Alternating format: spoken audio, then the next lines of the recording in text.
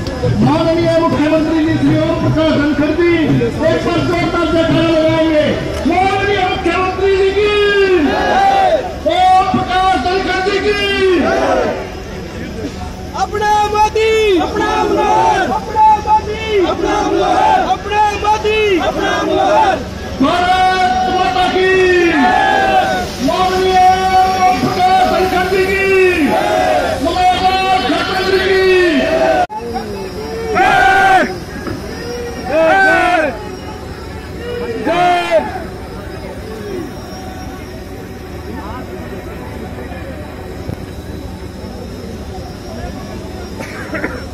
भारत माता की भारत माता की ऐसे में जोश दिखाओ जोश दिखाओ तो समझ में आवे भारत माता के। मुट्ठी बंद करके। भारत माता के। धन्यवाद। आज हमारी ये जन आशीर्वाद यात्रा भाइयों बहनों सातवां दिन है इसका। हमने एक कालका विधानसभा से जो हिमाचल प्रदेश का एकदम द्वार है। वहाँ से इस यात्रा को शुरू किया था। और आज सातवें दिन में ये हमारी अड़तीसवीं विधानसभा है। नब्बे की नब्बे विधानसभाओं में भाइयों बहनों ये यात्रा लेकर के हम जाएँगे। और 8 सितंबर को रोहतक में इसका समापन होगा। उस समापन के अवसर पर अपने प्रिय नेता, प्रधानमंत्री श्री नरेंद्र मोदी जी, इस यात्रा को अपना आशीर्वाद देने के लिए आएँगे। आपसे निवेदन है कि आप भी उस दिन भारी संख्या में वहाँ पहुँचेंगे, ताकि हरियाणा की पूरी जनता रोहतक में प्रधानमंत्री जी से मिल सके और आपका आशीर्वाद हम लोग हरियाणा के लोग प्राप्त कर सकें। ये आपसे पहला निवेदन है। भाइयों, बहनों बादली क्षेत्र विकास के नाते किसी भी तरीके से हमने पीछे नहीं रहने दिया। हरियाणा के सभी नब्बे विधानसभाओं में चाहे हमारा कोई विधायक है, चाहे नहीं है, हमने बराबर के विकास के काम किए। लेकिन बादली का एक विशेष ऐसा स्थान है लोकेशन है कि एक तो केएमपी केएमपी बिल्कुल हमारे साथ बादली शहर के साथ निकल रहा है। और ये केएमपी का पिछले आठ, नौ साल से जो काम लटका हुआ था, जो ठेकेदार छोड़ छोड़ के भाग गए, पिछली सरकारों के साथ उनकी जो सौदेबाजी का झगड़ा पड़ा, उस झगड़े में काम भी रुका और सुप्रीम कोर्ट तक लोग चले गए। हमने जाकर सुप्रीम कोर्ट को कहा, हमको कोई मतलब लेना देना नहीं पिछले हिसाब से। हम तो इस सड़क को बहुत जल्दी बनाना चाहते हैं। सुप्रीम कोर्ट ने हमको कहा, ठीक है, पिछले झगड़े अपने आप जो फंसेगा, जो आएगा, जो जाएगा, लेकिन आप इसको नए सिरे से अपने आप बढ़वा दो। हमने दो साल के अंदर अंदर और केएमपी बढ़वा दो इसी प्रकार, बाडा का जो विश्वव्यापी इतना बड़ा हॉस्पिटल ये कैंसर का हॉस्पिटल ये भी मनमोहन सिंह केवल नींव का पत्थर रख गए। लेकिन उसके बाद उन्होंने एक ईट रखने का काम नहीं किया। जब हम आए, आते ही हमने तुरंत शुरू करने के आदेश दिए और मैं केंद्र सरकार का धन्यवाद। सब ऊपर उठाने में लगे मुझे।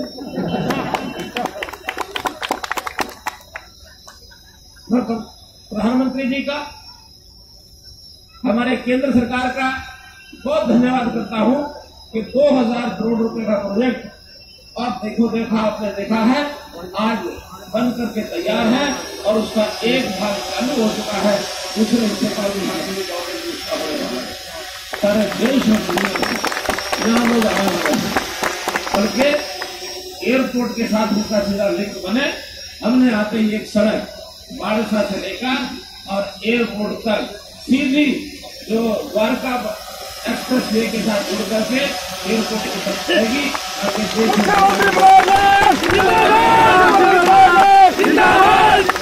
यहाँ पर विकास के कामों का भी एक हज़ार करोड़ उसके अलावा ये लगाए जा चुके हैं चाहे वो पंचायतों को हमने पैसे दिए चाहे यहाँ के बाईपास के ऊपर खर्चा आया चाहे जो जो काम किए हमने वो सब गिराने का आज टाइम नहीं लेकिन किसी भी कीमत किसी भी तरीके से इस हल्के को हमने, इसका जो पिछड़ापन था, उसको दूर करने की हर संभव कोशिश की। आज भी हमारे कृषि मंत्री श्री ओम प्रकाश जी धनखड़, उन्होंने ये विषय रखा है कि यहाँ की कुछ चीज़ें और आगे बढ़नी चाहिए। मैं भी मानता हूँ कि बादली अब गाँव नहीं रहा है। बादली अब कस्बा हो गया है। तो जो कस्बा हो गया है तो यहाँ सीवरेज भी बढ़ना चाहिए और ये नगर पालिका भी बढ़नी चाहिए।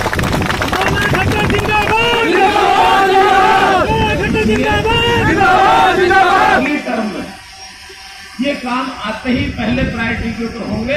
अगली टर्म में सीधा सीधा।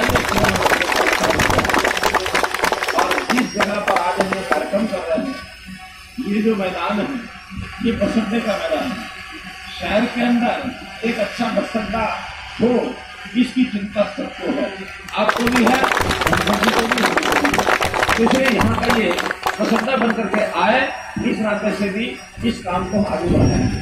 अरे मानो इलाका ये हरियाणा के एक विशेषता रखता है ये। एक प्रकार से ये इलाका खेल और खिलाड़ियों का इलाका है। खेल और खिलाड़ियों में यहाँ पर अगर नाम लेना हो तो पद्म श्री बजरंग पूनिया अवाड़ी उसी बादली विधानसभा का से गाँव का है। आखिर इस विधानसभा को उसका श्रेय जाता है तो हमारे यहाँ से इतने बड़े बड़े खिलाड़ी जो पद्म श्री प्राप्त कर चुके हैं इसलिए हमने खेलों के लिए भी बचपन से ही जिनको लगन है वो खेल के नाते आगे बढ़े स्कूलों में नर्सरी हमने खोल दी है गाँव गाँव में व्यायामशालाएँ बना दी है जगह जगह हमने स्टेडियम बनाए हैं ताकि खेलों में रुचि रखने वाले खिलाड़ी हमारे आगे बढ़े और नाते से ये इलाका फौजियों का इलाका भी है। और फौजी एक से एक बढ़कर के पुरस्कार विजेता वो यहाँ पर हुए हैं। और आज हुए ऐसा नहीं है। देश की आज़ादी के पहले भी यहाँ के नाम, स्वर्गीय बदरूराम का नाम हमने सुना है ना? Victoria cross. विक्टोरिया क्रॉस स्वर्गीय स्व- राम जी ये अपने देश की आज़ादी के लिए लड़े उनके नाम से भी बादली विधानसभा क्षेत्र ये जाना जाता है। अशोक चक्र विजेता राकेश जी। राकेश जी अशोक चक्र विजेता विजेता ये भी हमारे इसी इलाके के हैं। सुवाना के शायद रहने वाले हाँ, तो हमारा इलाका एक प्रकार का ऐसे ऐसे वीर पुरुषों का इलाका है कि हमको गौरव होता है। तैमूर लंग महाराज जिन्होंने वो है हमारे बादली के हरवीर गुलिया। हरवीर गुलिया का नाम वो भी तैमूर लंग के साथ उन्होंने खूब डट करके मुकाबला किया, लड़ाई की और एक प्रकार के देश की आज़ादी के अंदर अपनी भूमिका उन्होंने निभाई है। और इसी प्रकार से जैसे यहाँ पर अस्पताल, यहाँ का अस्पताल पहले कितना बेड का है? छोटा है। तो यहाँ पर एक बड़े हॉस्पिटल का निर्माण ये भी आने वाली टर्म में हम ज़रूर कराएँगे।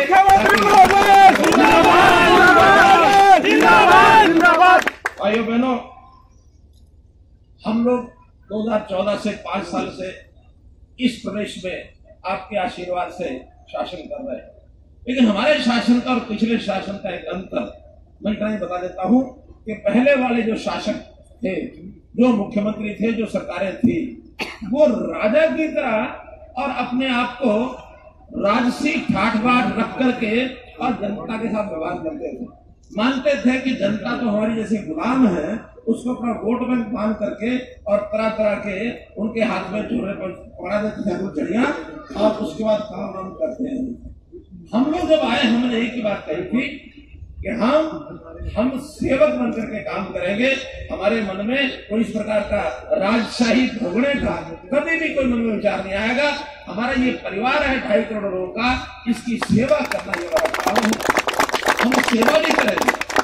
और ये देश, ये प्रदेश, ये जिला या विधानसभा, जो भी समाज की चीज़ें हैं समाज की चीज़ों को खराब नहीं जाने देंगे, किसी को लूटने नहीं देंगे, भ्रष्टाचार नहीं होने देंगे, हम चौकीदारी करेंगे और इस देश के, प्रदेश के, ज़िले के, विधानसभा के चौकीदार बनकर के काम करेंगे।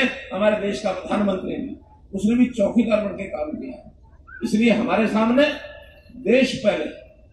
बाकी सब बात बाद में हमारा दल, बाद में हमारा हमारा अपना परिवार, बाद में अपना खुद का अगर कोई विषय है तो उससे बाद में आएगा। हम उन राजनीतिक पार्टियों की तरह नहीं है, जो यहाँ राज करते थे, जो कहते थे, मैं, मेरा परिवार। ये पहले, बाकी सब जय भारत है। किसी बात की चिंता नहीं होती थी। अपना घर भरते थे, अपने बेटे, बेटियाँ, पोते, पोतियाँ, चाचे, भतीजे, जीजे, सारे सबका घर भरने का काम उनका था। लेकिन हम लोग हम लोग फक्कर लोगों की ये पार्टी है। लोगों की पार्टी है हमें अपने लिए कुछ नहीं चाहिए केवल इस देश की सेवा का अधिकार चाहिए हम पाँच साल इस प्रदेश की सेवा करते आए हैं। आज इस यात्रा के माध्यम से हम फिर से हरियाणा की जनता से आशीर्वाद लेने के लिए निकले हैं। कि अगर आपको लगता है हमने पाँच साल में चाहे विकास के काम हो, चाहे लोगों के रहन सहन की जीवन प्रणाली की सुविधाएँ, ये हमने खड़ी की हो। हमने ई सिस्टम, ई गवर्नेंस इतना ज़्यादा खड़ा कर दिया है कि अब आपको अपने किसी काम के लिए सरकारी दफ्तरों के अफसरों के चक्कर नहीं काटने पड़ते आपको घर बैठे अपनी सुविधाओं का लाभ ले सकते हैं।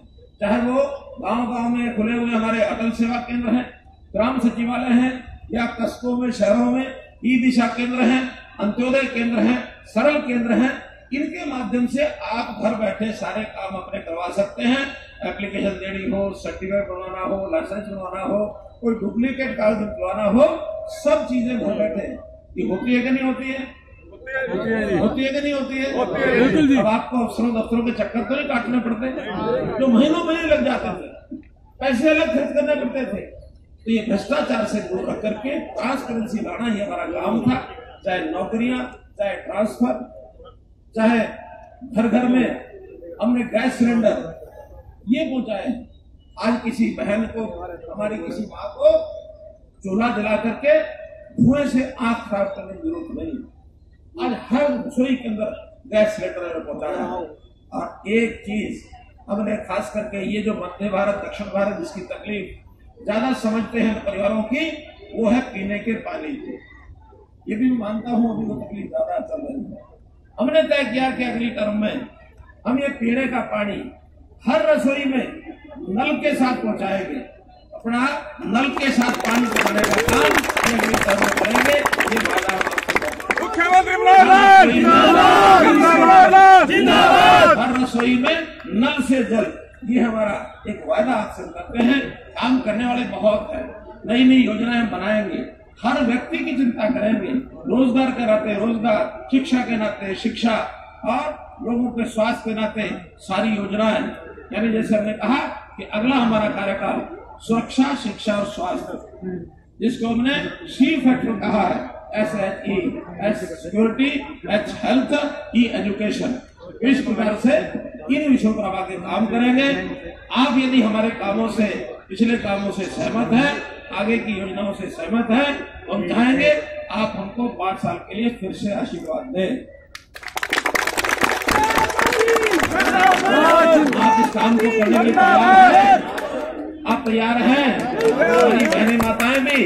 तो आप हमारे का जवाब कैसे उसमें लगेगा कि कितना उत्साह से हम काम करेंगे। भारत माता के। भारत माता के। भारत माता के। बहुत बहुत धन्यवाद। मुख्यमंत्री मनोहर जिंदाबाद जिंदाबाद जिंदाबाद प्रकाश धनखड़ जिंदाबाद ओम प्रकाश धनखड़ जिंदाबाद मुख्यमंत्री मनोहर जिंदाबाद मुख्यमंत्री मनोहर जिंदाबाद ओम प्रकाश धनखड़ जिंदाबाद ओम प्रकाश धनखड़ जिंदाबाद माननीय मुख्यमंत्री जी और आप सब लोगों का मातृशक्ति का ट्वीटोल आप सब लोग इतनी विषम परिस्थितियों में गर्मी के मौसम में आप सब लोगों ने अपना समय दिया। हम सभी